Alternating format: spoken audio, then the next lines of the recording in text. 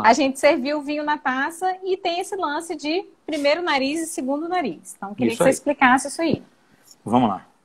O que, que é primeiro nariz e segundo nariz? Vamos lá. Primeiro nariz e segundo nariz. A gente acabei, acabei de servir o vinho aqui na minha taça. Acabei de colocar o vinho na taça. Blá, blá, blá. Eu não, Uhum. o primeiro nariz, eu não pego a taça e agito assim. Eu deixo a taça parada. Acabo de Uhum. servir e deixo o vinho paradinho aí. Dou um 10 segundos, 15 minutos- segundos para ele ficar parado. Aí eu pego a taça, sem agitar, como a gente costuma fazer, e aí o nariz vai entrar aqui dentro. né? Então você vai fazer assim, ó. E nesse momento, você não tem que ter Nós vergonha. Nesse momento, você não tem que ter vergonha de enfiar o nariz na taça.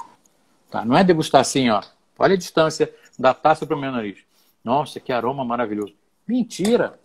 Mentira que está sentindo aroma maravilhoso, que não está sentindo nada. Se você não enfiar o nariz dentro da taça, você não vai sentir perfume. Então, inclina a taça assim e você vai respirar o aroma que está sobre o vinho.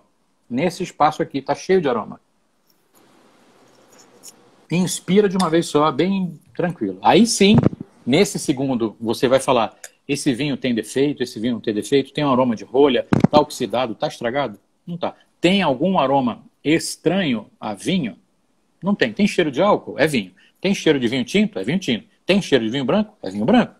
Tem algum aroma de defeito? Hum, problema.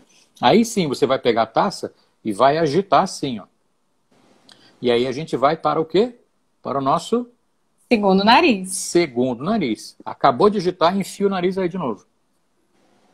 É outra, gente, é outra Quando- coisa. quando é você outra faz isso, coisa. Quando você agita a taça e quando você enfia o nariz aí dentro, a quantidade de aroma que você vai receber é completamente diferente.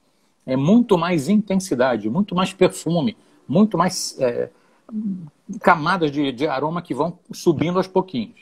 E aí já vai começar a farra do farejar, do farejar o vinho. aí já é uma parte de técnica de degustação. Tá? Então a técnica é a seguinte: se você enfiar o nariz aí na sua taça e fizer uma inspiração contínua, depois de dois segundos e meio ou três segundos, você para de sentir, de sentir aroma. O álcool queima os cabelinhos que tem lá dentro e você não sente mais nada. Tá bom?